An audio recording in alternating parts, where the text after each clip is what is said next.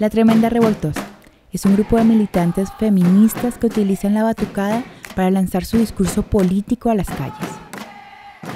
Todas somos feministas, algunas pasamos por la Universidad Nacional eh, y estudiamos aquí, todas digamos que hacemos parte del movimiento social de manera más amplia, pero llevamos ya unos años militando en el feminismo y de alguna manera nos encontrábamos en el interés de hacer de nuestra militancia una cosa diferente.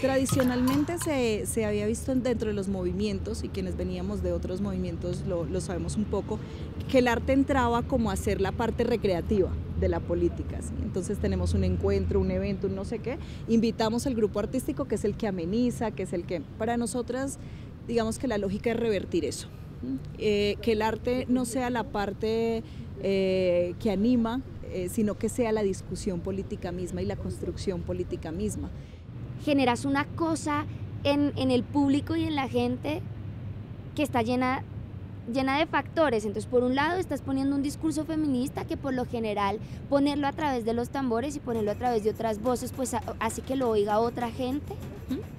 Y entonces a, medida no solamente que vas tocando los tambores, sino que vas gritando las consignas, pues la gente va pillándose qué es lo que estás diciendo, pero como, pero además le gusta necesariamente porque es música y, y le interpela el discurso de una manera diferente.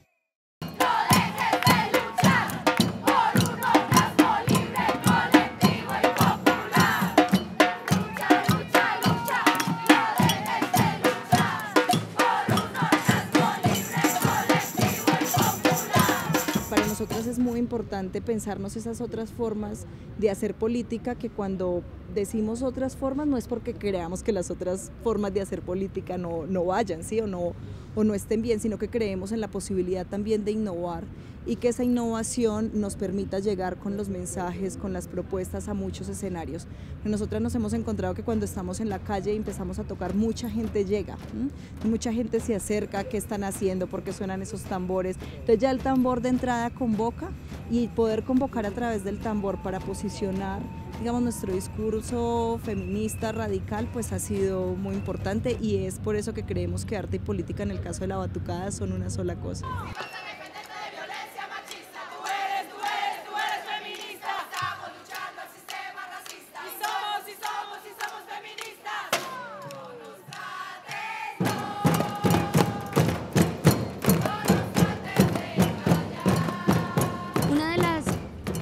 Clásicas del, del, feminismo es esta de lo personal es político. En nuestras reuniones de la batucada se mezcla todo, ¿no? Se mezcla desde la experiencia personal de cada una eh, y, su situación, por ejemplo, laboral, hasta lo que nos ha pasado en nuestras relaciones interpersonales y cómo van cambiando a medida que, que nos va interpelando también el discurso. Pero también tenemos discusiones políticas porque más allá de, de tener claro quiénes somos hacia adentro, que somos una batucada feminista, antirracista, anticapitalista. También hay muchas discusiones que surgen a partir de los espacios en los que tocamos y a partir de los, de los sujetos con los que nos relacionamos en estos espacios.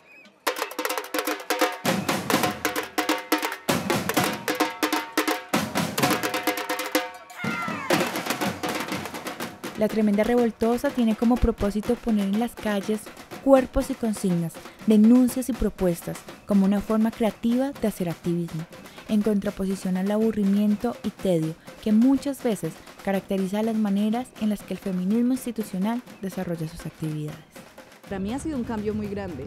Yo hace mucho rato vengo participando pues, de, movimientos de izquierda en, en Colombia y la batucada para mí fue otra fuerza, completamente distinta. De hecho, ahora cuando salgo me hace falta, si voy a una movilización sin tambor, porque decidimos no ir, me hace falta ya tener el, tener el tambor. Entonces para mí la, la batucada ha sido como una posibilidad de expresión política radical en la calle que como decía ahora tiene muchísima fuerza y mucha potencia.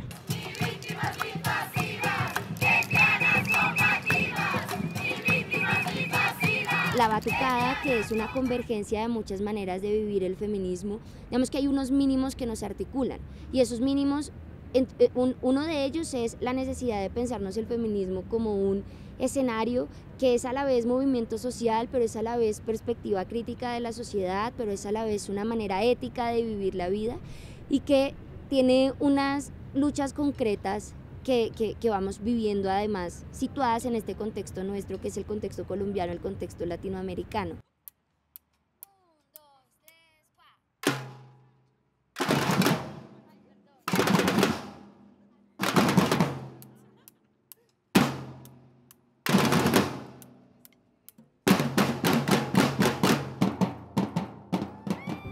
el arte es un medio impresionante para decir esas cosas que mucha gente tiene, que mucha gente sabe, pero que a fuerza de naturalización no siente. Como que el arte cambia el mensaje y hace que toque a la gente a la que no ha tocado el discurso clásico de la política. Y eso es fundamental.